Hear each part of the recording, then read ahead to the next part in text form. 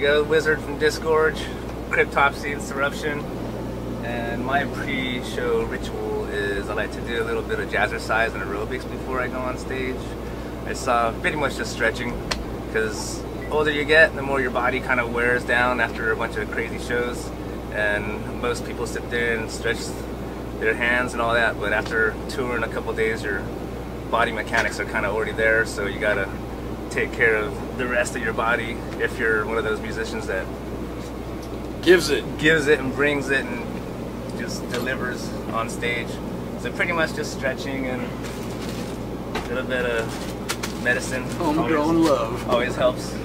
Uh, Flo cryptopsy. Um, same thing, man. I just gotta uh, warm up, warm up my my legs, my feet, my hands, my arms, do some stretching uh, to a certain extent. Uh, but after, um, like Diego says, after um, you know a few shows, it starts to become automatic, and the stretching and warm up is a little bit less extensive than it is at the beginning. Matt from Cryptopsy. Before shows, I always brush my fucking hair, which is I have two fucking hated parts of the day when I'm on tour: is brushing my fucking hair and warming up my voice. Those it the two parts of the day that just suck, but I loathe it coming, and I always just get it done together. And it's to the point where people know me. You know, like they call me the he he hey hey guy. So hey it's hey yeah, hey so hey. Everyone knows when I'm getting ready. Yeah. I like to take naps. That's what I like to do. I like to smoke a lot of weed and just take naps, wake up and feel refreshed. Drink a cup of coffee, go right to stage. That's my ritual. Naps are good. Naps are awesome. Naps are good.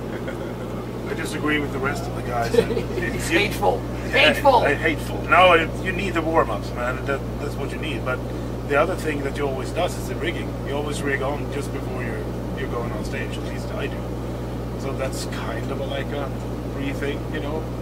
You're just dressing up with all the parts and then try to get, uh, Get your blood flowing. get, get, get your flow. in. Yeah. Get the blood flowing. You can always just rub one out right before you go on stage. Then you'd be throwing sticks all over the place. hey, hey, hey, hey! In case you're wondering why Ricky drops a stick every now and then. well, you know. now you know. And we'll fist bump. We'll fist bump right as the intro starts. When every once, every once in a while, I try to go fist bump before the intro, and the guys look at me. No, no. It's like once the intro starts, we'll fist bump. It's kind of weird though, because he doesn't have his glasses and I don't, so sometimes You just like, miss. hey! Yeah.